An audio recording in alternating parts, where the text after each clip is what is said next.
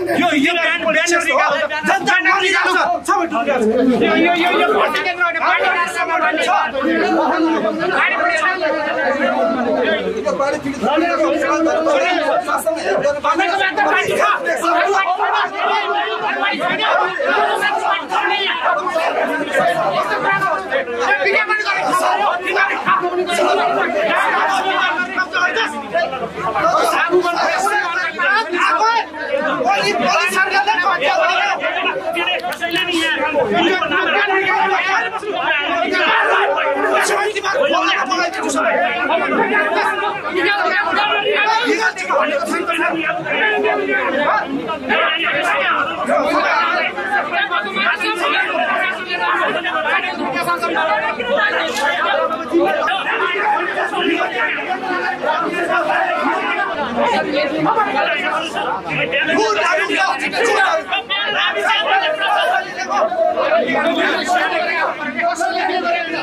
जनताको सेवा गरेर सकिन्छ अब विरोधी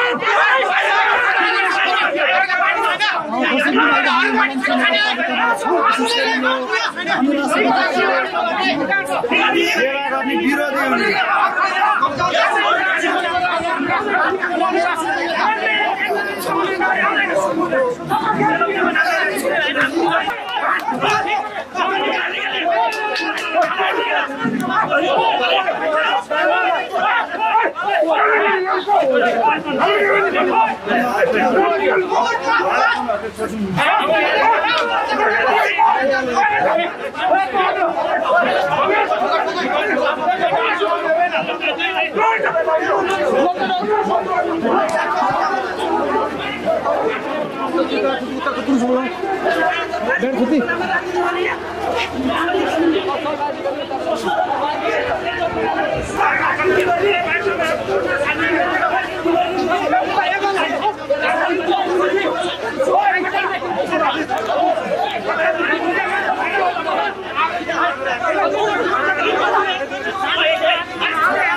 Thank you.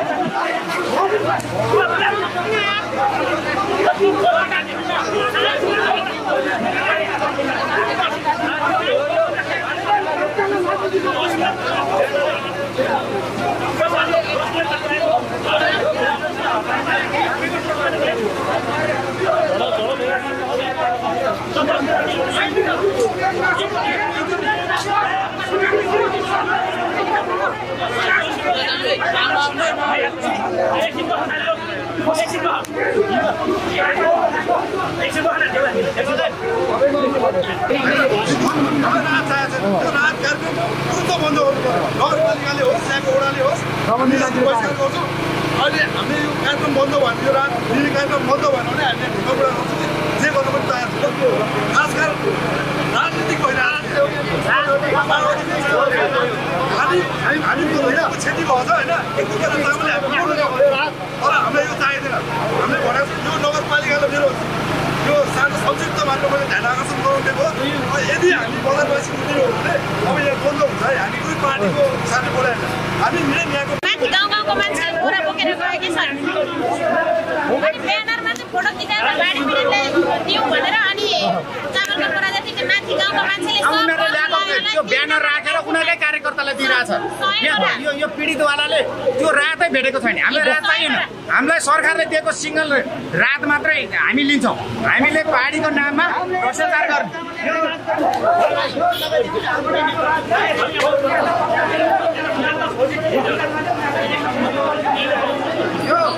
गरेको पनि होइन यहाँ सङ्गठनको नाममा यहाँ पार्टीको बाढी पीडितको नाममा राजनीति गरेको हो।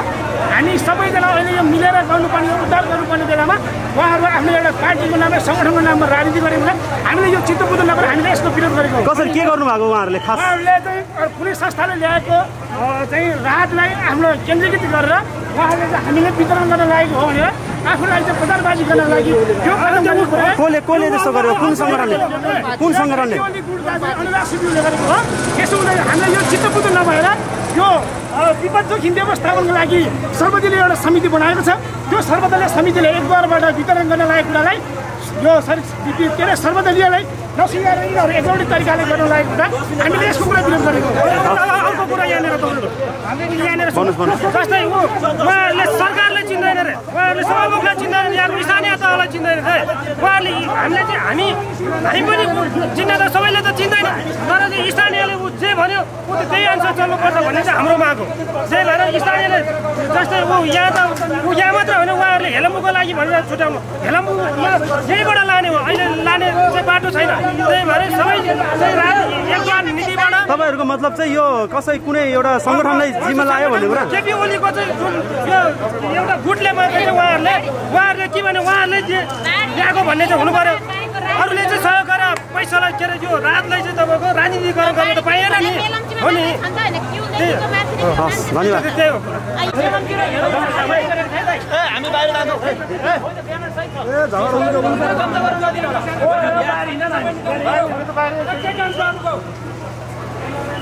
यो के हो? खास यहाँ त डाङडुङ भयो होइन? अहिले के भएको भन्दाखेरि यहाँ मेयरको ज्यादती हो यो। मेयरले चाहिँ विभिन्न राजनीतिक दललाई उठाएर चाहिँ जस्तो अन्रासोबी यो हाम्रो एउटा के मान्यता मान्यता बोक्छ भने प्रत्येक कलेज स्कुलमा चाहिँ अन्रासोबी हुन्छ। र अन्डा जहाँ समस्या जहाँ विद्यार्थी जहाँ समस्या त्यहाँ अन्रासोबी भन्ने हाम्रो ध्येय हो। तर के हो भन्दाखेरि यहाँको प्रशासन यहाँको मेयर यहाँको उपमेयर बिहानदेखि हामीसँग न्यु खोजेर बसिरहनु भएको थियो। यो हामीले चाहिँ घाइतेको उपचारार्थ खोलेको हामीले नि शुल्क व्यवस्था गरेको यो औषधि उपचार र यो स्वास्थ्य टोली माथि उहाँहरूले बिहानदेखि आक्रमण गरिरहनु भएको छ। कहिले यो नाममा कहिले त्यो नाममा यो चाहिँ एउटा के भन्दाखेरि विशुद्ध घाइते जनताको उपचारको लागि चाहिँ हामी तत्पर छौँ। हिजोदेखि हामी यहाँ फिल्डमा आएका छौँ तर आज उहाँहरूलाई यो कुरा किन चित्त बुझिरहेको छैन भन्ने कुरा हामी उहाँलाई च्यालेन्ज दिन चाहन्छौँ। साँच्चै भने सडक बाघ अन्ड्रासोहीसम्म लड्नु भयो भने त्यसको मूल्य नराम्रो चुकाउनु पर्ने हुनेछ र फेरि पनि म चेतावनी दिन चाहन्छु। पन्ध्र सौ भ्यू। कलेजमा हुन्छ विद्यार्थीमा हुन्छ जहाँ जनता छन् जहाँ समस्या छ त्यहाँ सौ हुन्छ यति कुरा म भन्न चाहन्छु। अ, जस्तो तपाईँ तपाईँले राख्नु एउटा कुरा है। जस्तो तपाईँहरूले चाहिँ होइन कुनै सङ्घ संस्थाले ल्याएको सामान चाहिँ तपाईँहरूले लियो भनेर तपाईँहरूले आरोप लगाएको होइन त्यस्तो होइन। हामीले लिएकै छैनौँ। हाम्रा केही साथीहरूले लियो होला कुनै क्षेत्रको लागि चाहिँ राहत लिन भनेर लियो होला। हामी म अन्डा सुरु स्थायी कमिटी सदस्य हामी अन्डा सुरु चाहिँ यहाँ समस्यामा परेका चाहिँ पीडितहरूलाई चाहिँ समाधानको निम्ति सहयोगको निम्ति एउटा चाहिँ स्वास्थ्य टोलीसहित हामी बसिरहेका छौँ। स्वास्थ्य शिविर राखेर हामी बसिरहेका छौँ। हाम्रो स्वास्थ्य शिविरमा रहेका बिहानदेखि लिएर अरू सामानहरू पनि चाहिँ झिकेर पहिलो पहिलोपटक चाहिँ मेयरले मेयरको निर्देशनमा प्रशासन आयो। प्रशासनलाई हामीले सम्झाएर पठायौँ।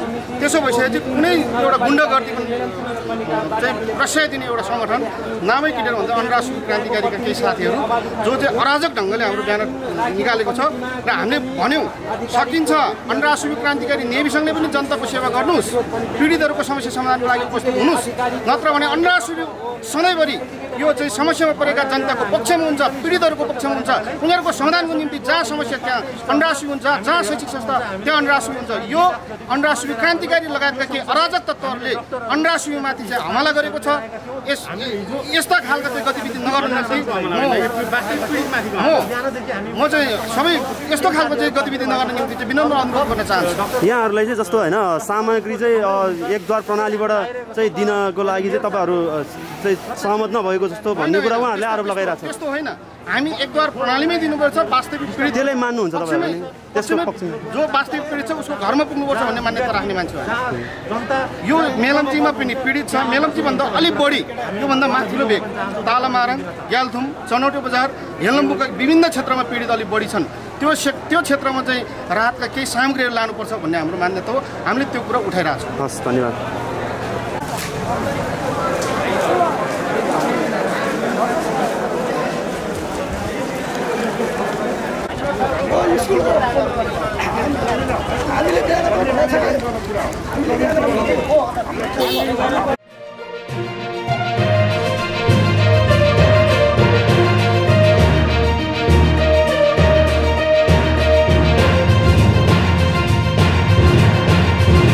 जन्मभूमि टिभी निष्पक्ष तटस्थ र समावेशिताको आवाज।